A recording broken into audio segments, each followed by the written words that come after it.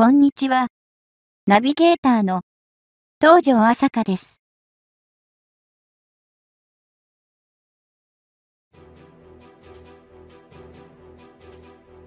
2019年10月、吉野明氏は、リチウムイオン電池開発の功績が認められ、ノーベル化学賞を受賞しました。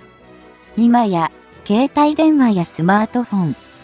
小型の電子機器のバッテリーとしてなくてはならないのが、リチウムイオン電池と言えるでしょう。生活の中に深く入り込んできたリチウムイオン電池ですが、大型の機械にも搭載されるようになりました。その一つが海上自衛隊の潜水艦です。2018年10月に浸水した最新鋭潜水艦オウリュウは、世界で最初にリチウムイオン電池を蓄電池として採用し、搭載しましたこのオウリュウですが、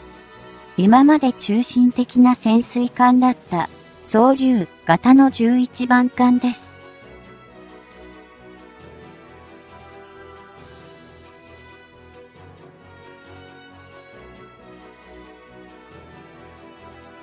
全長は 84.0m、幅は 9.1m、高さ 10.3m。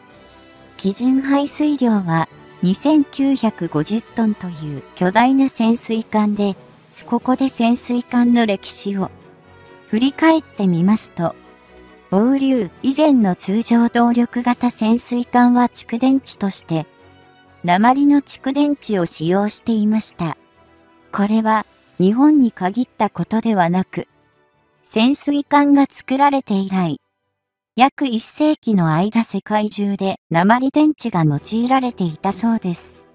鉛電池は大型で重く、寒さに弱いので極寒の地では使用が難しいなどの問題がありました。そこで登場したのがリチウムイオン電池だったのです。小型電子機器などとは全く大きさの異なる潜水艦の蓄電池にリチウムイオン電池を実用化させた GS アサ社鉛蓄電池国内シェア第1位の技術力の高さがよくわかりますね。スマートフォンなどの例ですが、リチウムイオン電池は発熱による発火の恐れがあるなど、安全面での課題があったため、高い性能には期待されながらも、なかなか美の目を見ない状態が続いていました。ところが、今回潜水艦オウリュウの新機軸としてついに、リチウムイオン電池を実装する運びとなったのです。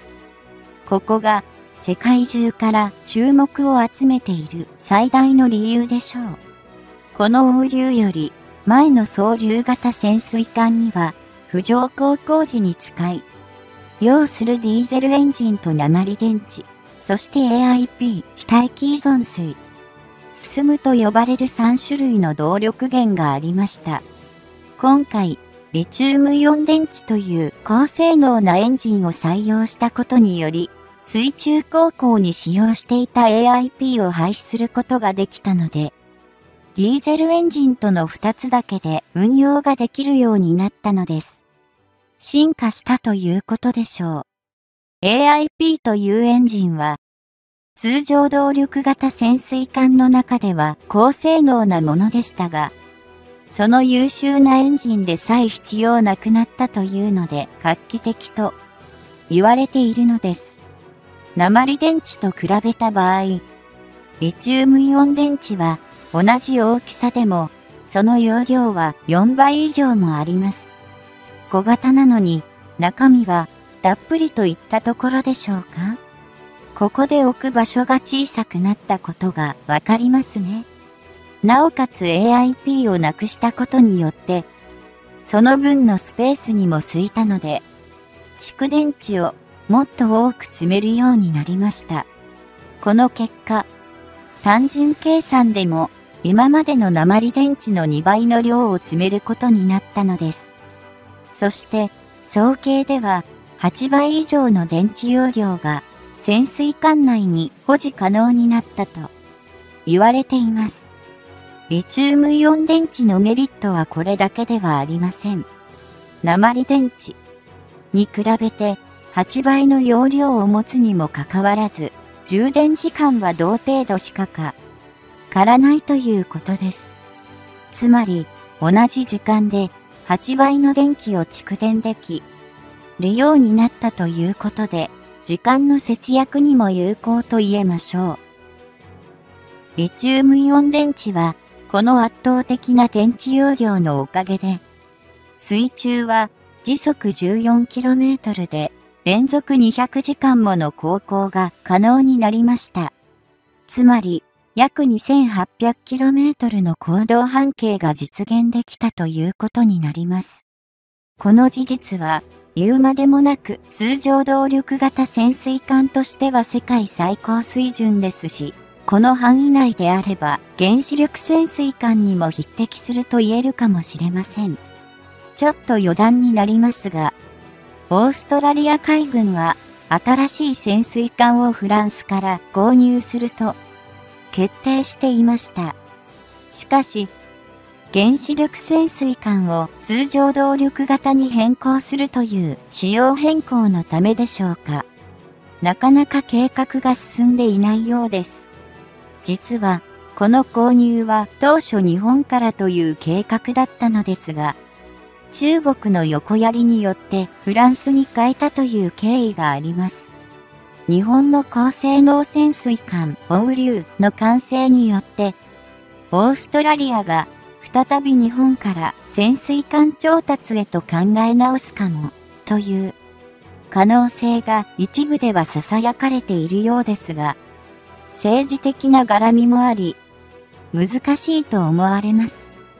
なんせ、オーストラリア最大の貿易国が中国ですから、日本の影響力を弱めたい中国の意見は無視できないでしょう。アメリカは原子力潜水艦しか国内では建造していません。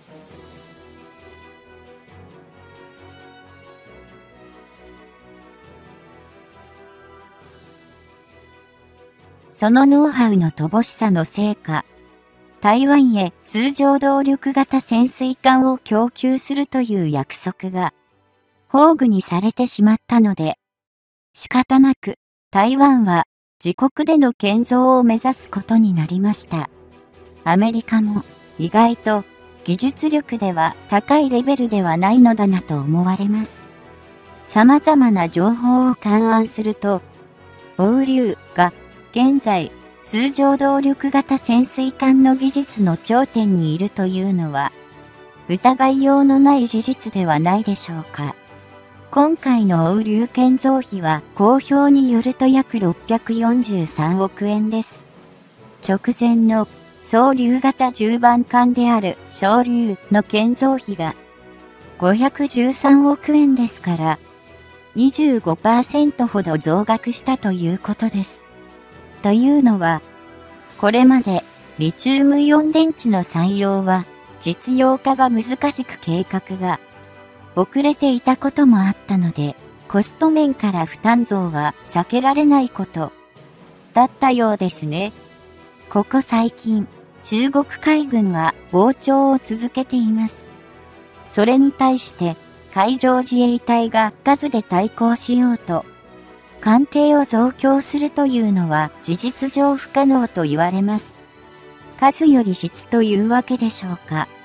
オウリュウがその性能をフルに活用して進化を発揮するのは、今までの潜水艦の倍以上もの広い行動範囲を得たことによって、南シナ海での中国海軍へプレッシャーを与えることだと思われます。オウリュウ以前の潜水艦でも南シナ海で作戦行動を展開していたことは、すでに公表されています。この行動が中国海軍への抑止力としてかなり有効であることが注目されていました。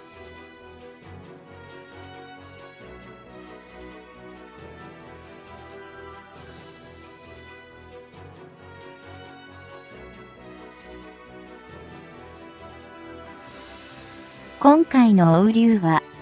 今までの作戦行動をさらに進めて、従来のデフォルトの潜水艦作戦と言われる重要海域で敵を待ち伏せすることから、先行しながら南シナ海の全域を移動できるようになりました。欧流の動きにより、中国海軍の行動が牽制できることになります。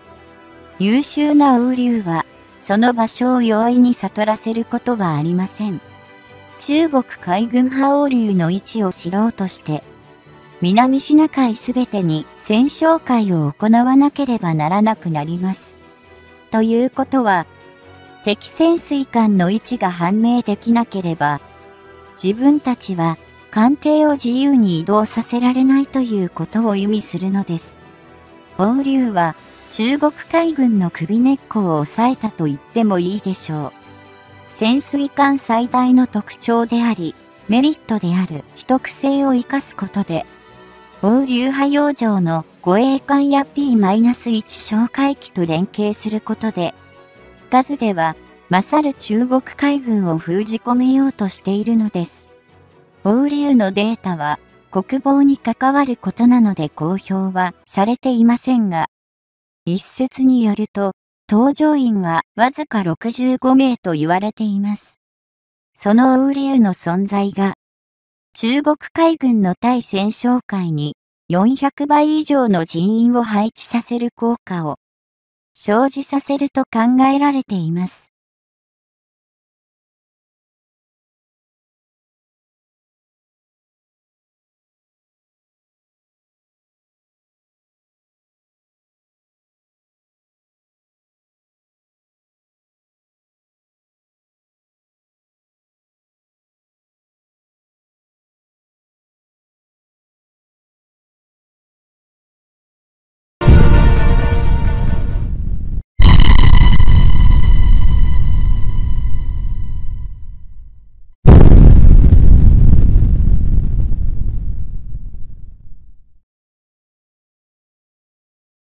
こんにちは。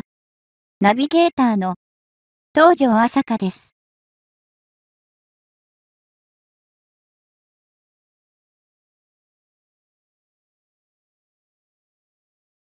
そう、夕方潜水艦は、ようやく、計画の12番艦までが浸水式を終え、11番艦雨流潜水艦までが任務についている。この潜水艦日本で最強なのは、どの潜水艦といえば、やはり12番艦。東流潜水艦だろ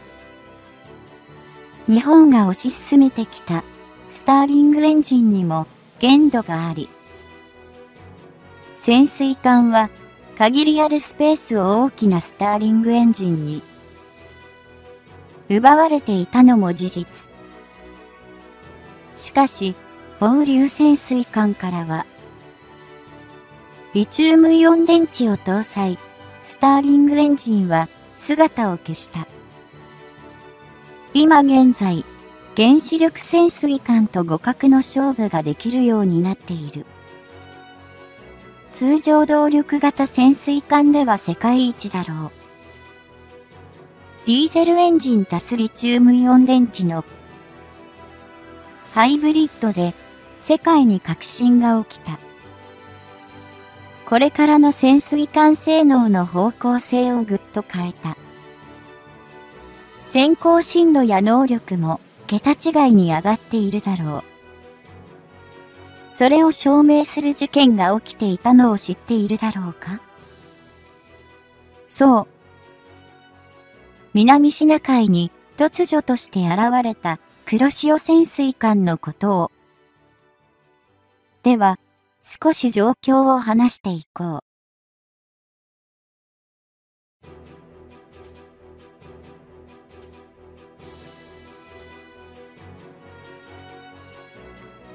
南シナ海といえば、近年、中国の海洋進出が目立ち、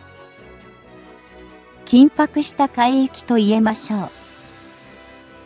この緊張地帯で15年も潜水艦訓練を行っていたのに、ただの一度も発見されなかったという事実に驚きですね。その理由は何と言っても、黒潮の性能や隊員の優秀さに起因するものではないでしょうか。しかし、15年間という長い時間、全く発見されることなく訓練を続けていたというのはすごいことだと思います。しかも、相手はあの忠国ですから、自衛隊の潜水艦がどれほど優秀なのかが、証明されたということではないかと思います。では、黒潮に関してなかなか良い記事が見つかったので、下記に紹介したいと思います。安倍首相の中国訪問と潜水艦訓練、防衛省は海上自衛隊の潜水艦黒潮がベトナムのカムラン港に寄港したと発表しました。その後、台湾とフィリピン間のバシー海峡を通り、大型護衛艦、加賀と合流。加賀と護衛艦2隻は長期訓練中で、黒潮と共同で9月13日、南シナ海において訓練を実施したそうです。通常の場合、自衛隊関係の訓練は何と言っても国防に関わる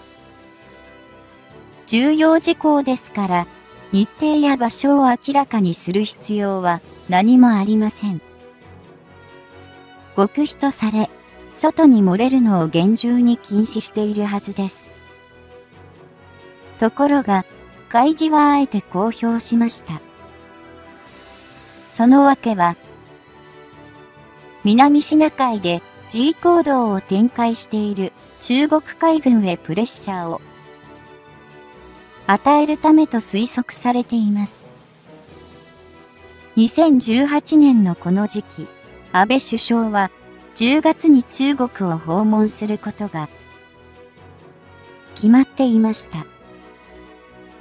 そして中国はアメリカファーストを叫ぶ。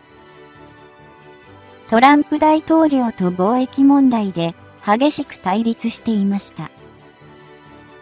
挙句には貿易封鎖されるのではないかという憶測が、現実味を帯びてきた時期でもあったのです。だからこそ、安倍首相を味方に引き入れて、アメリカに情報を迫りたいのが、中国。アメリカの対中制裁の影響で、自国の景気が悪化しないよう、ある程度の理解を示し、中国に譲歩させたいのが日本。二国間での駆け引きを前提とした訪問と言われていました。ここで、日本としては、せっかく珍しく中国から頭を下げてきているだから、この機会に何か譲らせることができるのではないかという考えだったようです。確かに、手強い相手が頼み、ことをしてきたら、この木に自分の言い分を聞かせたくなりますよね。となると、ここは強気に出て、相手にガツンと一発かますぐらい、した方が外交上は有利になると考えられます。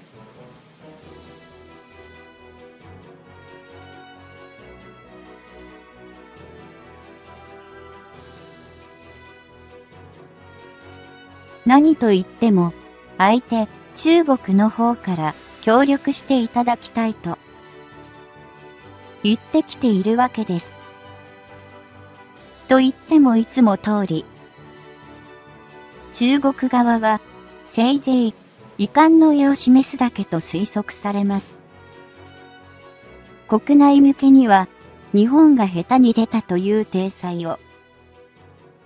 整える必要がありますからね。日本は、が、ツンと一発かまそうと思ったためか。当時の防衛大臣小野寺御天氏は、9月18日、日本の潜水艦黒潮は、15年前から南シナ海で訓練を実施していたと公表したのです。15年前の2006年、平成18年は小泉純一郎が首相で、靖国神社参拝で中国、韓国の両国と揉めていました。この時、すでに中国は南シナ海へ頻繁に侵入するなどしていたのですが、アメリカはもちろん当事者であるはずの日本も見て見ぬふりをしていたのです。表面上は沈黙していたのですが、水面下では、密かに南シナ海に潜水艦を派遣し、情報収集活動などを行っていたということになります。そして訓練については、特定の国を念頭に置いて訓練しているものではないとは言っていますが、中国を想定した訓練であろうと簡単に推測できますね。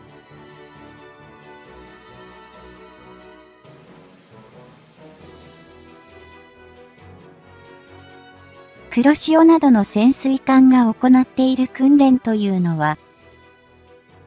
中国軍の艦船や潜水艦の情報収集はもちろん、相手がこちらの潜水艦を探知できる能力の有無を確認しようとするものです。仮に中国海軍が日本の潜水艦を発見したら絶対大騒ぎするはずです。それが何もなかったということは15年間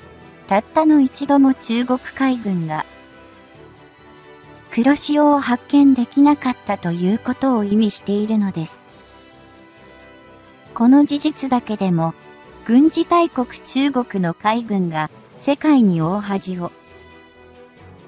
晒したということになるでしょう。黒潮潜水艦の快挙と言っていいでしょうには、多くの人が驚き、喜んだと思われます。こんなに高性能な潜水艦があったら、中国がしょっちゅう領海侵犯している日本周辺海域も万全だろう。ひとまずは安心だと感じた人もかなりの数いたと思います。潜水艦は基本的に海中で活動するわけです。見えない相手にとっての脅威となりますし、周辺国に対して牽制できることにもなるでしょう。黒潮は本当にすごい活動をやってくれたとしみじみ感じます。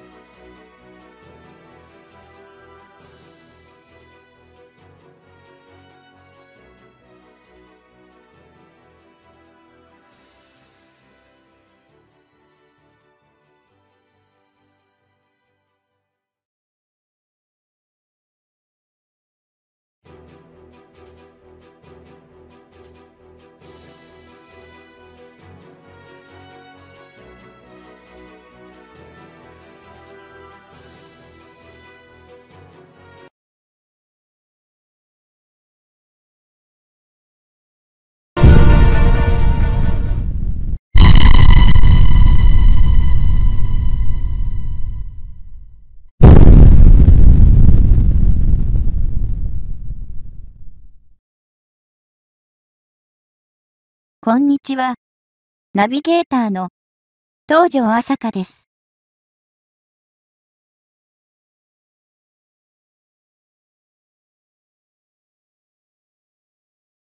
自衛隊の F2 戦闘機の後継機である F3 戦闘機の開発計画がアメリカと合同で進行しそうだという情報があるそうです。でも、これはあくまでも非公開情報なので、半信半疑ですよね。日本の自衛隊機なのに、合同開発する理由ですが、お互いの利益が合致したというか、技術を交換することによって、それぞれの開発費が削減できるという見込みがあるからということです。やはり何事にもお金の問題が重要ですからね。とは言っても F3 戦闘機計画を日本主導で進めるということは閣議決定されています。やはり日本の戦闘機ですから開発について日本がイニシアティブを取るのは当然の話でしょう。その前の F2 戦闘機の場合は少し違いました。アメリカの F16 を日本の仕様に合わせて両国で改造開発したのが F2 でした。日本で使う戦闘機なのに共同でというのが引っかかったのでしょうね。それを踏まえて、後継機となる F3 戦闘機については、開発には日本製を前面に出していく予定と言われています。しかし、アメリカの無人戦闘機の技術も非常に気にかかるというのは日本側としても同じです。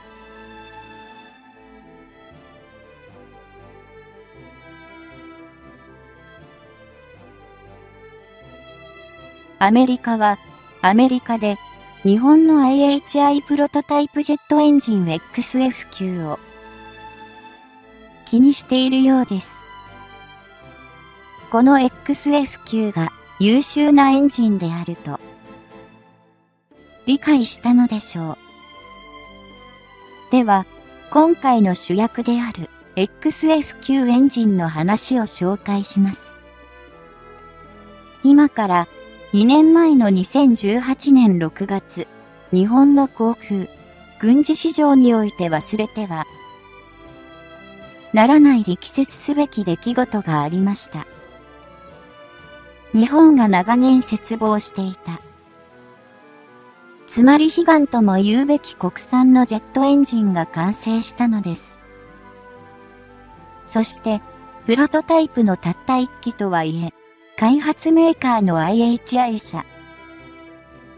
救命、石川島播磨重工業から防衛装備庁に納入されました。このジェットエンジンが XF9-1 と呼ばれるもので、現在の国際スタンダードと比較しても全く劣らない優れもの。いえ、それ以上でベストと称されるほどの優秀な航空機。戦闘機用のエンジンなのです。このエンジンは、カタログスペックでは、高い水力、推進力を実現しています。このカタログスペックというのは、製造した会社が公表している製品の諸言やスペックのことです。要は自分たちが作ったものの詳細説明ということですから、欠点などは公表しないはずですから、その内容がいいことばかりで、完全無欠な製品であるといった説明になるだろうというのは簡単に。推測できますね。しかし、この XF9 の1においては古代広告ではないようです。つまり、親のひいき目などでは決してなく、本当に素晴らしい画期的なエンジンと、評判なのです。このプロトタイプの XF9 の1エンジンが今回納入されたものですが、アフターバーナーを使用した場合の推力は、なんと15トンになるそうです。この数字は、アメリカの F22 ラプターステルス戦闘機が採用している。F119 エンジンの推力15.9キロと比べてみても、決して負けないねです。というより、一説には、むしろ XF9 の1の方が勝っているとも言われています。比較対象として、同じアメリカのステルス戦闘機である。F35 ライトニングに戦闘機について説明します。この機体に、搭載されている F135 エンジンも優れていると言われているそうです。このエンジンのアフターバーナー使用時の推力は19.5トンとされていて、XF9 の1エンジンは確かにそれより低いですね。しかし今回はまだ、プロトタイプです。初号機ですから、まだまだ改造、アップデートの余地があります。そう考えると、将来的には XF9 の1エンジンの性能向上が十分期待できますから、水力アップも可能性は大です。アフターバーナーについて解説しますが、このアフターバーナーとは、エンジンから放出される排気ガスに直接燃料を噴霧して燃料を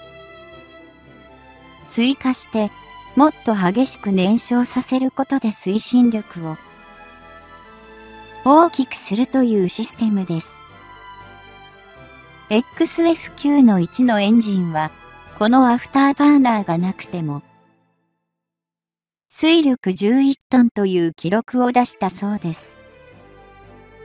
ここで、改めて XF9 の1エンジンが世界的に注目を集めたわけを考えてみましょう。今までは日本の国産エンジンでは、このように一線級の卓越した性能を備えることは困難でした。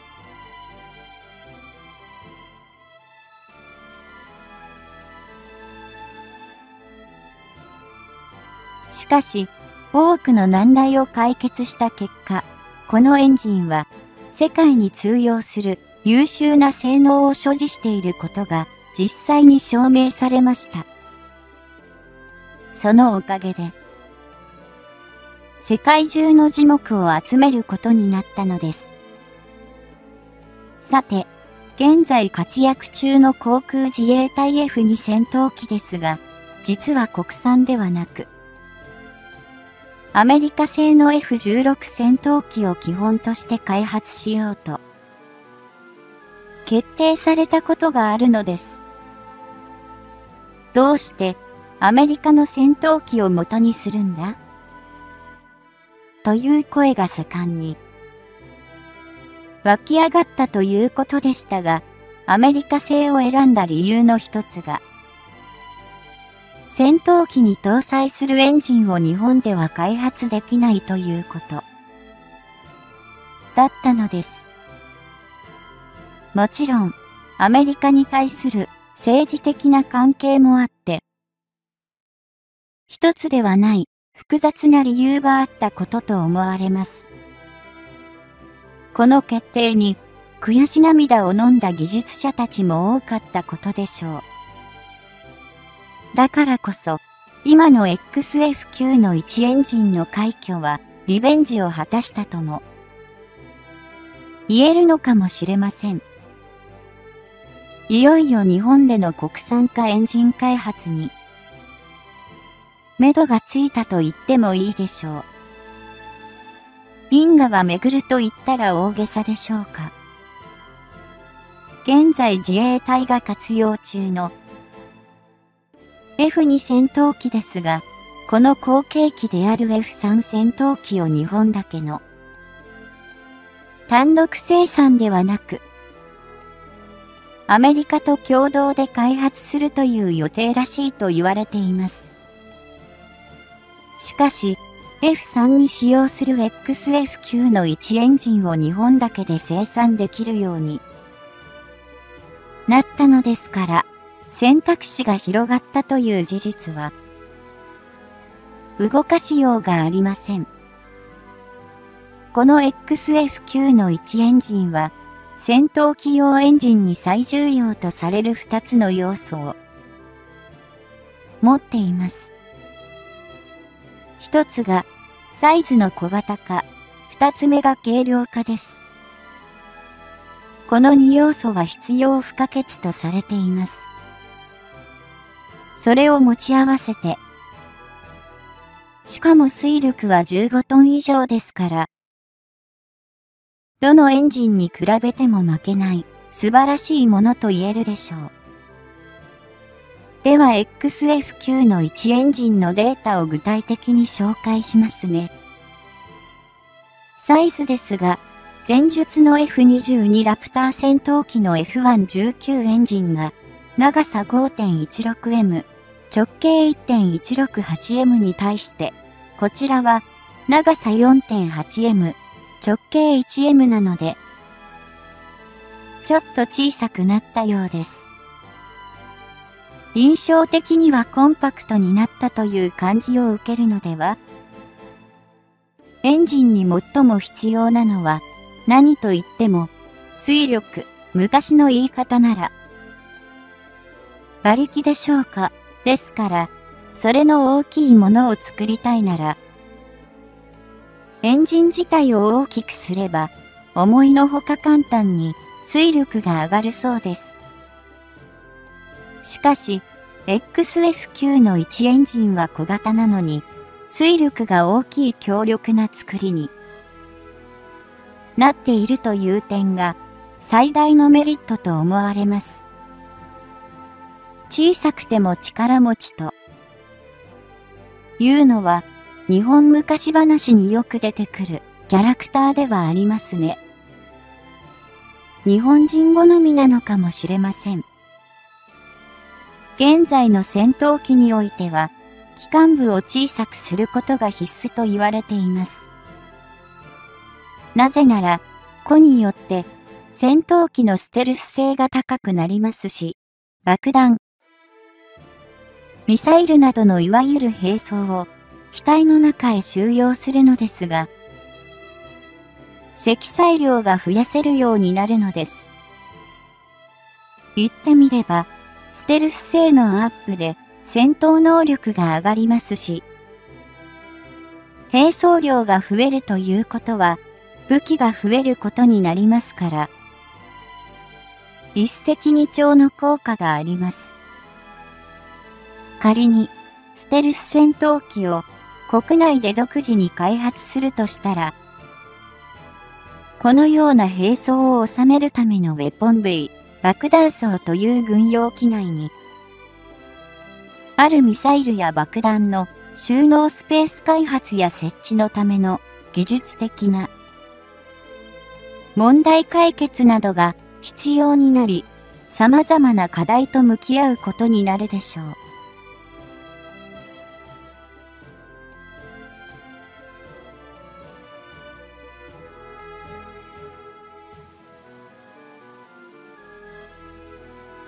しかし、最大の関門と言われるエンジンの小型化をクリアしたわけ。ですから、将来的にも心強いと感じますね。2019年6月、航空見本市が開催されました。この席で、XF9 の1エンジンの水力変更ノズルを開発中であるという発表がありました。この発表によって、XF9 の1エンジン実用化に向けた準備が着々と進んでいるという実態が強く印象づけられたことになります。水力変更ノズルとは、ジェットエンジンの排気方向を変えることで、戦闘機の進行方向をコントロールする装置を言います。XF9 の1エンジンは、ノズル式装置によって最大角度20度以内で気体調節ができるそうです。いいことずくめの XF9 の1エンジンと思われますが、やはり心配なこともあります。ここまで開発が進んではいるのですが、次期 F3 戦闘機の着地点が未だに定まってはいないのです。ですから、せっかく日本独自で作った素晴らしいエンジンのプロトタイプがうまく活用してもらえないのではないか。という良くない推測もあるようです。ここで面白いというかびっくりすることをお教えしましょう。実は F3 戦闘機を当事者である日本より注目している、警戒している国があるという情報を得ました。しかも F3 戦闘機に関するニュースは非常に重要視しているようで、こっちから見れば、なんで、そんなにマジになってんの？と、若い人なら言っちゃいそうなぐらいの真剣な議論を展開しているのです。その国とはどこか？お隣の韓国です。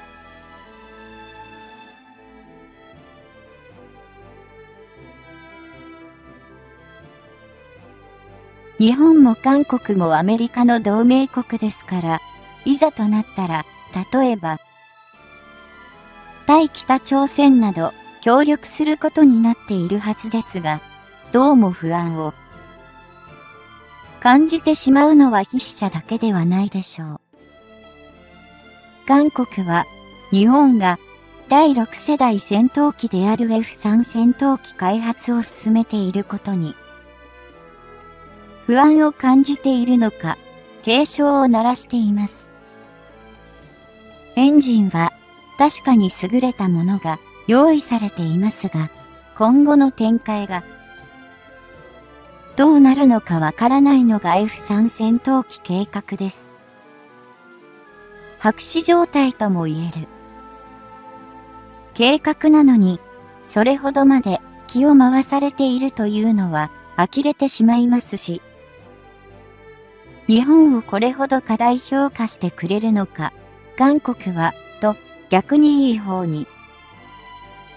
受け取ってしまいそうでもあるし、くすぐったい気持ちにもなりそうです。しかし、戦闘機計画に目くじらを立てるほど、日本は何かあれば、即仮想鉄国と韓国は捉えてしまうのか、今までの交流は、一体何だったんだと、悲観的な思いを感じします。1945年、昭和20年の太平洋戦争終結から、すでに70年以上が過ぎました。韓国は、根の文化と言われます。日本への根が世界で日本より上の立場を目指す熱意となり、また対抗心をかき立てることになったのでしょう。外交関係も今一つ良好ではない二国間です。日本の戦闘機開発に張り合うつもりなのか、韓国でも源泉や航空母艦配備へ向けた動きがあります。この隣国は軍備をどこに向かわせようとしているのか。気がかりな状態が今後も続くと思われます。